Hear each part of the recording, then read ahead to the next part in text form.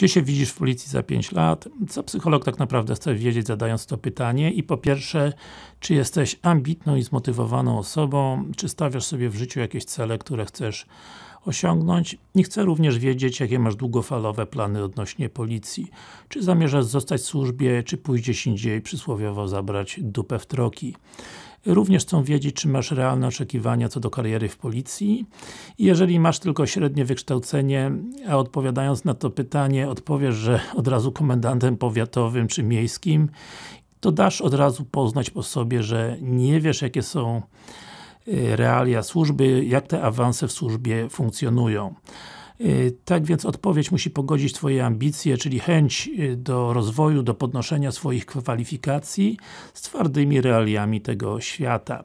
Jeżeli masz średnie lub licencjackie wykształcenie, to 5 lat od wcielenia może być okresem, kiedy dopiero zaczniesz rozglądać się za czymś nowym, czyli możesz powiedzieć, że w ciągu 5 lat poznasz y, dobrze swoje obowiązki i zaczniesz się rozglądać za czymś bardziej ambitnym, co Ci będzie odpowiadało. Jeżeli mimo wszystko mierzysz wyżej, to wkomponuj ten fakt, y, jak ta praca Ci to umożliwi.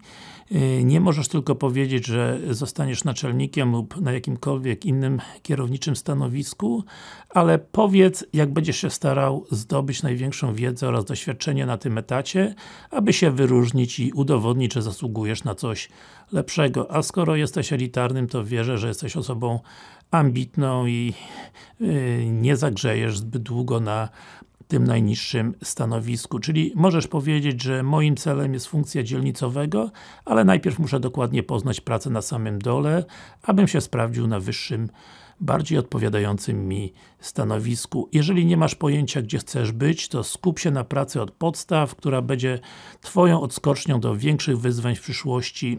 Jest to trochę bardziej takie ogólne i unikasz odpowiedzi, ale rozumiesz, że podstawą sukcesu jest solidna robota na samym dole.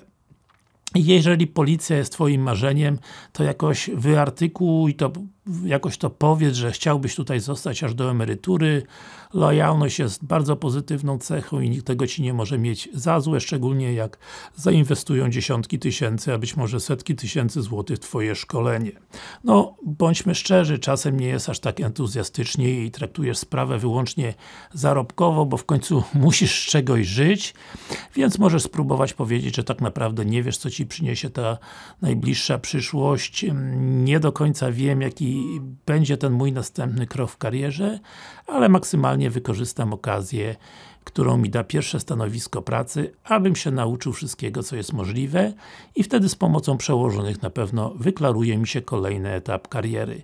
Jest to akceptowalna odpowiedź, równoznaczna z nie mam pojęcia, ale tej drugiej z oczywistych względów nie możesz udzielić. Po prostu będziesz mm, zbyt szczery, zbyt brutalnie szczery, co nie zawsze się podoba. No, nie każdy musi mieć jednak idealnie skrystalizowane plany na najbliższe 5 lat. Także mam nadzieję, że zrozumiałeś o co mi chodziło, czy zrozumiałaś o co mi chodziło. Jeżeli masz jakieś swoje wersje e, odpowiedzi na to pytanie, zrób to w komentarzu e, do tego filmiku. No i do zobaczenia wkrótce.